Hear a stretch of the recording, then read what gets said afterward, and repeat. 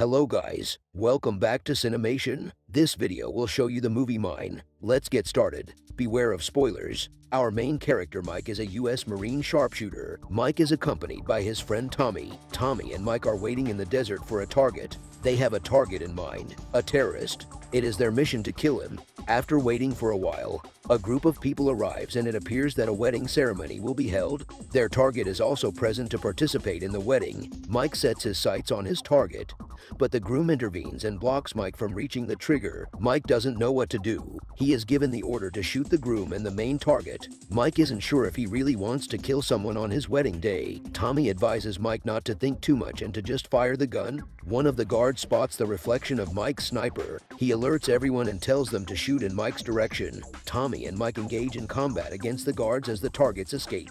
Guards are sure to outnumber Mike and his friend. They are forced to hide in order to keep their positions secure. The guards arrive quickly in their car and they hide behind a rock. They are just about to find Tommy and Mike. They are about to find Mike and Tommy, but a sandstorm comes and the guards quickly evacuate that area to save their lives. Tommy and Mike get caught in the sandstorm and lose their way. They contact their base to get instructions to move to the nearest village, which is five hours from where they are. They slowly, steadily, and calmly move to the next village after the sandstorm has stopped. They are greeted by a sign a few seconds later. Mike warns them not to go ahead with their plans. He fears that the area in front of them could be filled by mines, making it unsafe to walk around. Tommy ignores Mike's warnings. He tells them that they must reach the village, or they will die from dehydration and desert. Mike isn't keen to go, but Tommy insists that they must. Tommy begins to walk ahead of Mike in order to show him the safety of the area, but Tommy is hit by a mine and loses both his legs. Mike moves one step ahead to save Tommy.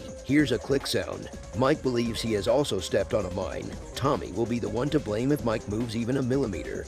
This is a very nerve-wracking situation. Mike manages to remain calm and asks Tommy to use the radio to call their base camp to ask for help. Tommy is in great pain and can't do anything. He uses a painkiller to ease some of the pain in his legs. The radio is used to call their base, but it does not work.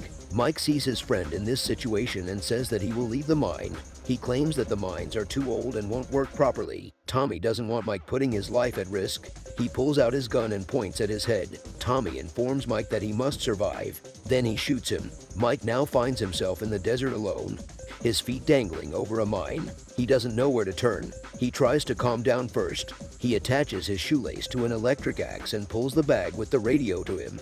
He retrieves the radio, but the battery is dead. Mike is smart and realizes that Tommy has a spare battery. He finally contacts his base by using the solar energy. He also informs them of Tommy's passing. He requests help to save Tommy. His superior tells him that the area he was in was susceptible to sandstorms, and therefore sending an aerial rescue team is impossible. Mike is informed that a rescue team will be sent on foot, but it will take them 52 hours to reach him. Mike must stay there for 52 hours to save his life. Mike is devastated by the loss of Tommy and desperately wants to escape this horrible situation. To get energy, he eats an energy bar and the wrapper is blown away by strong winds. Mike senses that there is a massive scent storm coming towards him. Mike quickly takes off his mask and uses his support and gun to keep from being swept away by the storm. Mike is smashed by the storm. Mike stands firm and doesn't move an inch, barely surviving the storm. The storm passes him. Mike looks up to see that Tommy's body had been blown towards him by the wind. He removes the radio battery from Tommy's bag. His luck gets worse when he realizes that the bag containing the radio had been thrown away. Mike is shocked and begins to laugh. He hasn't had any food in hours and has run out of water after sitting in the heat for hours. Mike is in danger of becoming dehydrated. Mike has approximately 43 hours before help arrives. His patience is slowly eroding. He grabs his gun and fires at the sky. He shouts for help, hoping someone will hear him and save him. But no one is listening. Mike realizes that he can't survive here. He points the gun at his head and ends his life. He sees someone walking by before he can pull the trigger. Mike tells Mike everything and asks for help. However, the person says that Mike should come forward. Mike attempts to explain that he could lose his life in an explosion if he took one more step. Mike is approached by the person who is walking in a non-straightening pattern. Mike gives him his water bottle and asks him to bring his radio. The man misunderstands Mike. He tells Mike that there is no music on the radio and that he shouldn't dance in this setting. The man then leaves Mike without offering any assistance. Mike is frustrated but cannot help but to leave. After a while, he is still in the same position and sees a little girl approaching him. The child follows the same pattern as the previous person and walks in a straight line to Mike. Mike quickly drinks the water bottle she has given her. Mike is shown the toy soldier by the little girl who takes it out of her back. He also has a toy soldier that is identical to hers and he gives it to the little girl. He asks her to take the bag and radio to him.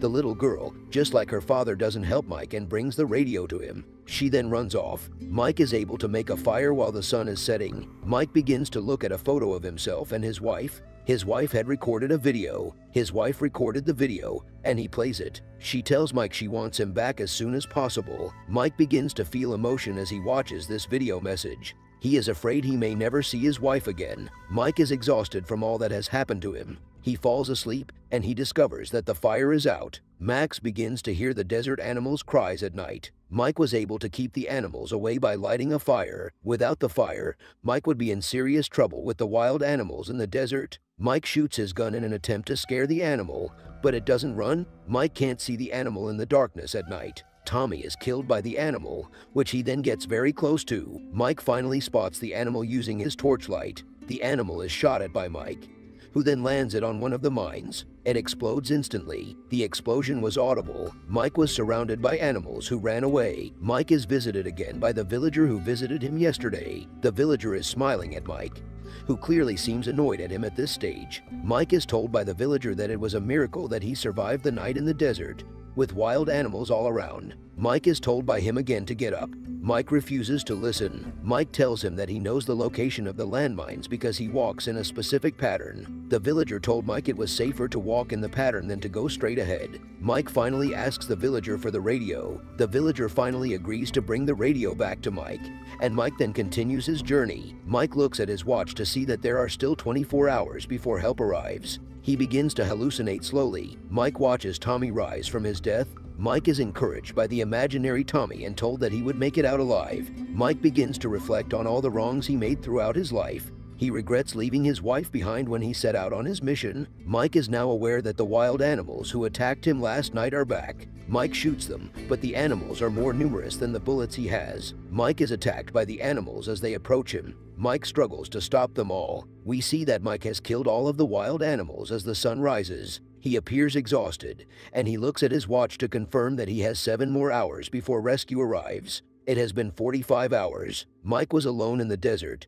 his sole occupant being Mike. He walked over a mine with one foot. Mike hasn't moved in the past 45 hours. Mike receives a call by his senior, who informs him that the rescue crew that was sent to rescue him is 10 hours late. This means that Mike must survive in the desert for 17 more hours. He is asked by his senior if he can keep going for the remaining 17 hours. Mike is already tired and demoralized. He says he can't go on. His senior informs him that he can talk to someone. The voice of his wife then starts to speak to him. Even worse, he starts to hallucinate his wife while sitting on a couch. Mike begins to lose strength in his body. Mike starts to fall straight down, and it appears that he will soon lose his life. However, Mike was not able to get his feet off the mine, just in time to save Mike's life and stop the mine from exploding. The villager arrives. Mike is then told by the villager that he once stepped in a mine, which took his leg. Mike tells him that losing his leg felt as if he had lost all of his life. As he told his story, Mike is being treated by the villager. Mike is told by the villager that even though he lost his leg,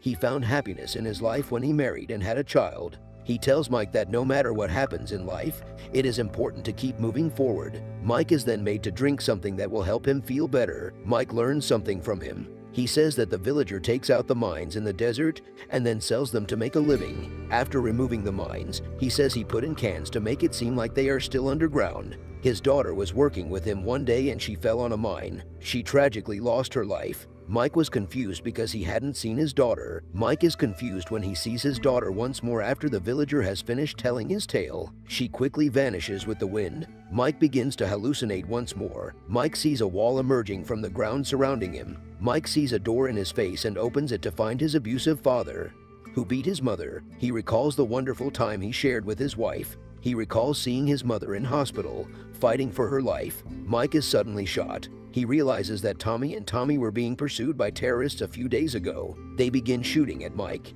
He tries to defend himself, but he's weak. Then he remembers his wife, and he gets motivated to live. He shoots aground, which triggers the mine. The sand shields him from the enemy. He quickly grabs his sniper rifle and begins to eliminate each enemy one by one. Mike survives the attacks of his enemies and notices that the rescue crew is there. The sand made it difficult for Mike to be found by the rescue team. He had to call their attention to let them know exactly where he was. Mike can see his flare signal just a few meters from him. He will be rescued if he can get the signal and relay it to his team. To get to the flare signal, he must step ahead. This will activate the mine and either kill or take his legs. The villager then tells him what he had said. We must never stop moving forward, no matter what happens in our lives. He believes it is better to lose his legs rather than to go to the desert and not see his wife. Mike is willing to put his legs on the line to save his wife. He gets up and walks forward, stepping off the mine floor. Surprisingly, the mine does not explode. Mike is shocked when he falls to the ground.